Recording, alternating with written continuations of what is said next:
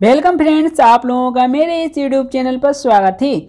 आज के इस वीडियो के माध्यम से मैं आपको बताऊँगा B L L B fifth semester examination 2019 दिसंबर माह का जो 2019 में पेपर हुआ था, उसके प्रीवियस ईयर्स के क्वेश्चन पेपर।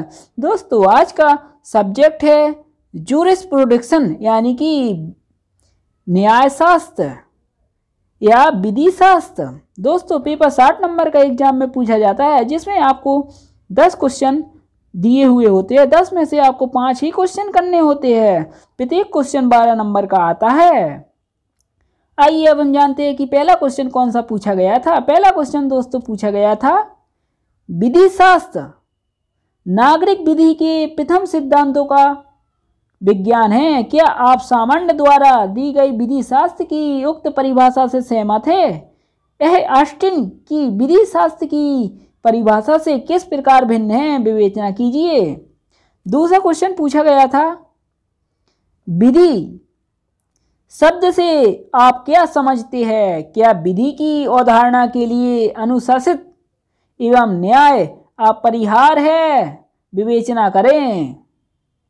तीसरा क्वेश्चन पूछा गया था, केल्सन के शुद्ध विधि सिद्धांत के महत्व का वर्णन कीजिए, तथा बताइए कि उसके विचार ऑस्टिन के विधि संबंधी विचारों से किस प्रकार भिन्न थे।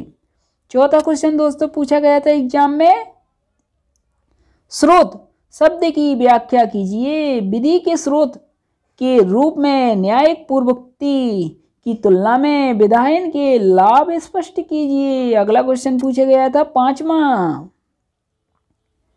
अधिकार के मूल तत्व को समझाइए।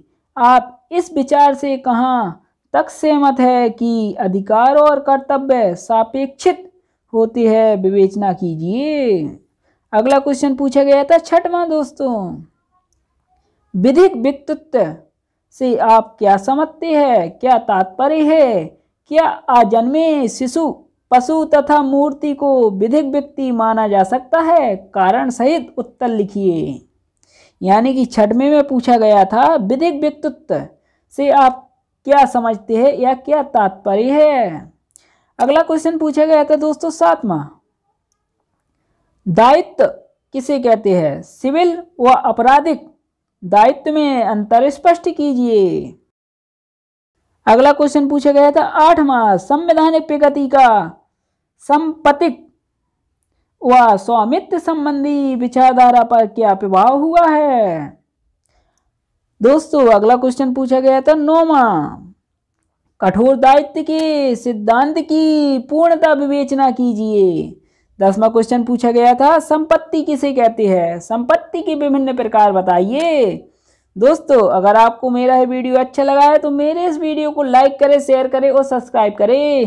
क्योंकि, और अधिक से अधिक लोगों तक शेयर कीजिए, क्योंकि जिन बच्चों का एग्ज़ाम है दिसंबर माह में, उन बच्चों को मेरे इस पेपर से कुछ अपने एग्ज़ाम के लिए हेल्प मिल सके, तथा इन क्वेश्चनों को भी आने वाले पेपर में रिपीट किया जा सकता है। इसलिए आप लोग दोस्तों, मेरे चैनल को आपने अभी तक सब्सक्राइब नहीं किया है तो मेरे इस चैनल को सब्सक्राइब कर लीजिए। जिससे आने वाले अगले वीडियो का नोटिफिकेशन आप तक तुरंत पहुँच सके। धन्यवाद।